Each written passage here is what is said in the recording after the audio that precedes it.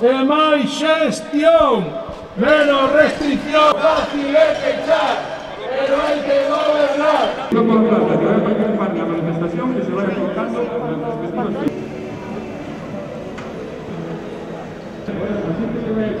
manifestación Trabajo, trabajo en el sector eh, para una marca comercial y bueno, evidentemente si el sector no está funcionando, pues las marcas comerciales que dependemos indirectamente de ellos tampoco. Una bajada bastante importante de las ventas en, en la empresa, con lo cual bueno, estamos con esa incerti- incertidumbre de a ver qué va a pasar.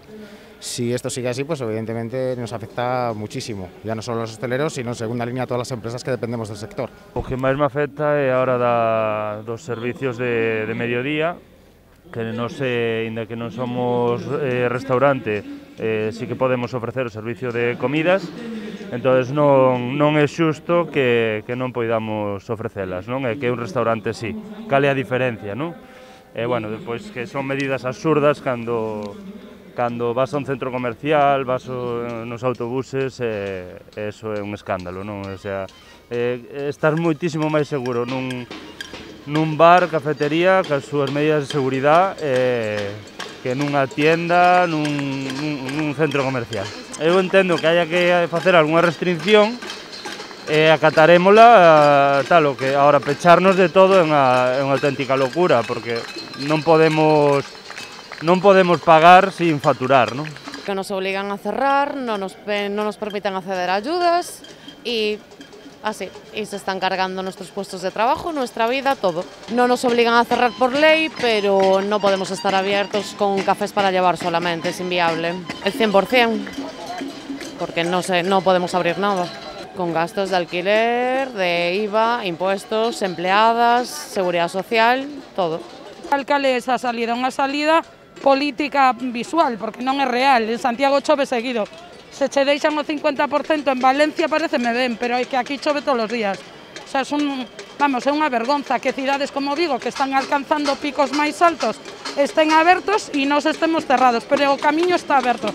Non ten sentido ningún e máis que haya distincións entre restaurantes e café bar. Non somos restaurantes, estamos cerrados, porque é o lógico si me obligan a, un compañeiro a cerrar, o lógico é que eu cerre, non, non entendo isto. Pa que? Pa servir os, os peregrinos, o sea, é unha solución política e absurda, o sea, e despois vas no autobús cheo de xente e no avión igual, o sea, bueno, é unha vergonza, para min é unha vergonza. Eh, neste momento podo teño a suerte de ser duns do que, dos que pode abrir eh, pola circunstancia tamén de que non teño grandes cargas a nivel de traballadores nin, nin este tipo de obligaciones Eh, eu me solidarizo con todos os meus compañeiros e compañeiras de profesión porque considero que non se está facendo eh, algo xusto con o noso sector. Eh, a, o meu motivo de estar aquí hoxe é sumarme a eles porque considero que se poderían plantexar outro tipo de, de accións a efectos de que podamos abrir cunhas condicións mellor estudiadas e que non estigmaticen tanto o noso sector, que xa leva unhos cuantos meses de, de retroceso a nivel de posibilidades de traballo e de ingresos, evidentemente. Eh, basicamente porque o, non sei como anda o tema moito por aquí por Santiago, non estou moi informado, pero Negreira anda bastante bastante jodido. Además, ahora co, co que está salindo últimamente, cerrar as 11 e así, eh, tuvamos bastante fallo por ali. Xa antes había pouquinha xente, pero agora, con todo este tema, feito este fin de semana, que suele ser os días máis fuertes da hostelería e tal, cerrar bastante temprano, as 11 estar limpiando xa é moi poquinha xente. Xa antes había pouca, pero ahora por aí casi nada.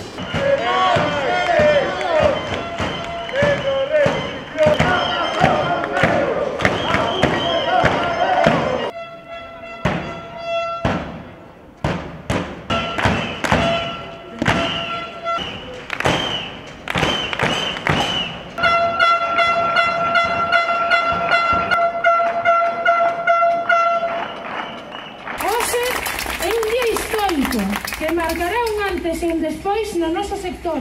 Por primeira vez estamos unidos man con man para defendermos o noso futuro e para evitar o horizonte inmediato de ruína o que nos condenan. As injustificadas medidas adoptadas pola Xunta de Galiza o día 15 de agosto limitando os horarios de traballo e ordenando o feche da hostelería nocturna xunto coas novas e maiores restriccións que entraron en vigor o 22 de outubro, forzan hoxe, por primeira vez na historia da cidade, ao consunto do sector da hostelería de Santiago de Compostela e os compañeiros do Milladoiro a salir á rúa en defensa dos nosos dereitos. Os contagios nos establecementos da hostelería son residuais. Non representan máis que un 3,5% fronte a un 14% do total que se producen no ámbito familiar. O noso sector adaptouse con rapidez e eficiencia a cada unha das normativas que se foron implementando na tentativa de controlar a pandemia, cumprindo escrupulosamente con todas as medidas higiénico-sanitarias. Somos un exemplo. Somos un exemplo.